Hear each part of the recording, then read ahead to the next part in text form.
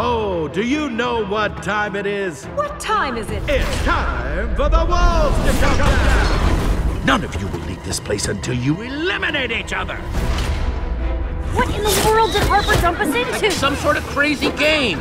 Jesse's right. Spleef. Gesundheit? No, it's a game. We just want to get our friends and go Sorry, home. Sorry, Chief, but this is your home now. Harper, how bad is this going to be? Give it to me straight. It's not gonna be a cakewalk, that's for sure. If I don't get you, one of the gladiators will. Competitors, on your mark.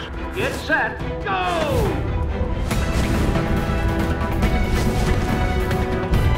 Are you crazy?